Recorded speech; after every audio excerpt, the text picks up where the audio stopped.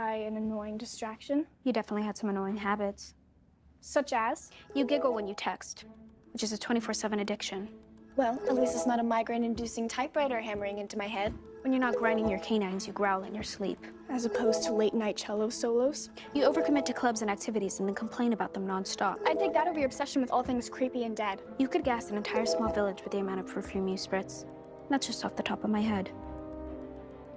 Guess I'm the lucky one with a new bestie that doesn't try to find ways to endanger literally everybody she comes into contact with. In fact, Yoko and I are so in sync that she's begging me to be her new roomie, permanently.